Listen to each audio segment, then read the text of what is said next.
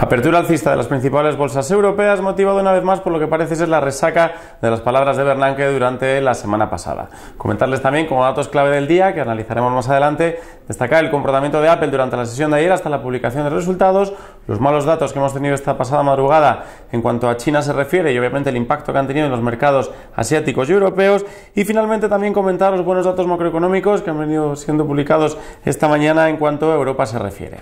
Comentarles antes de nada en cuanto a Wall Street, el cierre de ayer, destacar el cierre del Dow Jones, en este caso el único índice que cerró en positivo, en este caso también el mejor de la jornada, con subidas en torno al 0,14%, que hicieron que finalmente pues, alcanzaran los 15.567 puntos, a diferencia del SP500 y del Nasdaq, que cerraron en negativo. Destacar, como decíamos al principio del vídeo, el comportamiento de Apple, que durante la sesión llegó a perder cerca de un 1,7% ante las expectativas de resultados, que finalmente, bueno, pese a que son ligeramente peores a los del periodo anterior, comentarles que han superado expectativas y es por ello por lo que finalmente hoy se espera que en la apertura de mercado Apple pueda reaccionar al alza. También comentarles sobre todo la publicación de resultados durante la sesión de hoy, importante ya que es uno de los mayores días en cuanto a la publicación se refiere, destacar entre otros, tenemos publicaciones de resultados tanto de Boeing, Caterpillar, Facebook, Foro, Pepsi Cola, pero sobre todo destacarles que hoy es una sesión en la que va a haber fuertes volatilidades, sobre todo porque es una de las sesiones con más publicaciones las que veremos durante este, durante este periodo de tiempo. Comentarles también en cuanto a otros mercados asiáticos importantes, en China,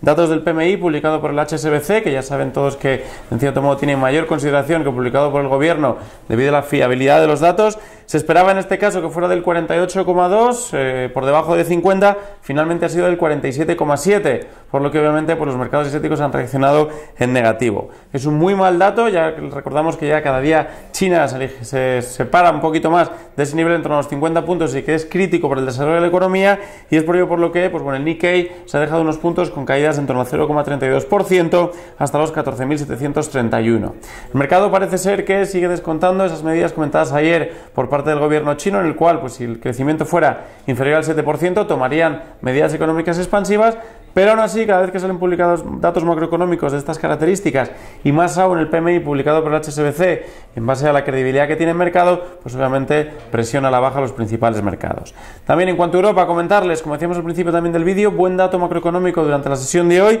En este caso hemos tenido PMI servicios y PMI manufacturas en Alemania. Ambos esperaban que fueran respectivamente en torno a 50,8 y 49,2. Finalmente han superado las expectativas y en el caso del PMI servicios eh, los datos han sido en torno a 52 2,5 y el manufacturero de 50,3, por lo que ambos superan el nivel clave de los 50 puntos y sobre todo superan expectativas, que es lo que ha hecho moverse las bolsas en Europa al alza. También comentarles impulso de las bolsas, caída en cuanto a las primas, en el caso de la prima de riesgo española se encuentra ya un poquito más estable a niveles entre los 307 puntos, tendiendo un poquito a la ruptura de ese soporte entre los 300, un soporte clave. En principio, estos datos macroeconómicos en Alemania han impulsado también el resto de bolsas de países de la periférica. Hemos podido ver también el MIP italiano subiendo, K40 francés, incluso el DAX alemán también fuertemente al alza, y es por ello por lo que parece ser que hay de nuevo confianza en cuanto a los mercados europeos se refiere. Y finalmente, en cuanto a datos macroeconómicos, como todos los días importantes, hoy a las 4 en Estados Unidos tenemos cifra de venta de viviendas, que es por ello obviamente un dato importante en cuanto al desarrollo de la economía americana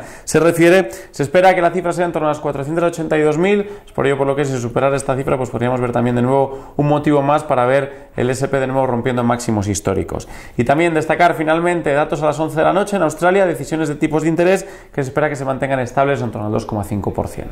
Esto ha sido todo, les recordamos que podrán seguir viendo vídeos como este en nuestro canal de YouTube, únicamente desde XTV, como siempre, desearles que tengan una muy buena sesión de trading y hasta pronto. Gracias.